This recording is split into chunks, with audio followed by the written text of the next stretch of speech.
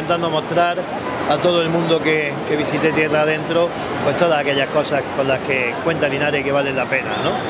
De Cástulo, por supuesto la fiesta ibero-romana, que han conseguido esa importancia que tienen hoy, a pesar de ser tan jóvenes, al Museo Arqueológico, a la Casa Museo de Segovia, nuestro patrimonio minero, a la Semana Santa. Así que tenemos muchas cosas. Como tenemos muchas cosas, pues tenemos mucho tiempo y también tenemos mucho tiempo a lo largo del fin de semana pues para mostrar todo eso a quien nos, a quien nos acompaña. La tapa, ¿quién, no, ¿quién de Linares no va a cualquier otro sitio y si se encuentra con alguien que ha estado en Linares eh, no le dice, uy, la tapa de Linares, qué, qué rica, qué buena, qué grande, ¿no?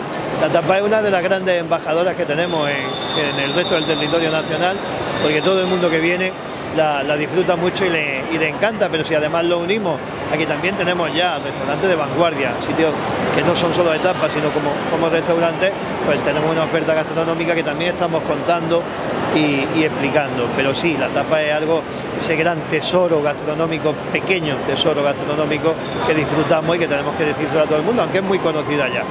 Pero ponía un ejemplo antes hablando, eh, hace unos días una concejal de otra ciudad eh, me decía que por qué no hacemos algo eh, de la tapa de Linares en su ciudad para que se conozca más aún de lo que se conoce y, bueno, eso significa que la importancia que tiene la tapa, ¿no?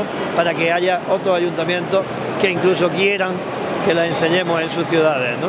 Tenemos que estar muy orgullosos de nuestra gastronomía, de nuestras tapas, de nuestros restaurantes y por supuesto aquí también hablamos de ella. Esta es que si una es calidad-precio de una tapa en Linares, yo creo que en ningún lugar de España la van a encontrar igual, ¿no?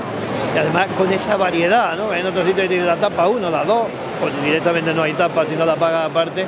De esa calidad-precio es lo que le da mucha importancia y mucha trascendencia a nuestra tapa. Eh, Cástulo se le está haciendo mucha promoción ¿no? desde, hace ya años, entonces cada día llega a más sitios. Si además salen noticias de inversión en Cástulo, como la última que ha, salido de la Junta de Andalucía, pues eso también sale en todas las televisiones y el nombre de Cástulo aparece. Entonces es muy frecuente que aquí se nos, se nos pregunte, se pregunte por Cástulo y también por las fiestas ibero-romanas, porque van unidas, ¿no?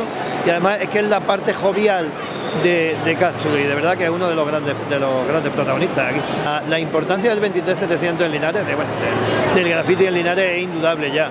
Nos visitan gente de, gente de todos los sitios, de cualquier lugar del mundo para ver ese museo al aire, al aire libre con el que con el que contamos en la ciudad y que Belling y su equipo y quien eh, trae a Linares para que eh, colabore en, ese festival, pues bueno, pues que sea una, una maravilla y de verdad somos referentes a nivel de graffiti en, el mundo ya, gracias a todo ese trabajo que se está haciendo. La unión de sinergia entre turismo y cultura, entre la Concejalía de Turismo y Cultura es fundamental, porque los eventos que organiza cultura, los eventos que organiza turismo, al fin y al cabo ambos son turismo, porque ambos atraen a personas y cualquier festival, el FIMAE por ejemplo, pues está claro que ayuda a que Linares sea más visitado. ¿no?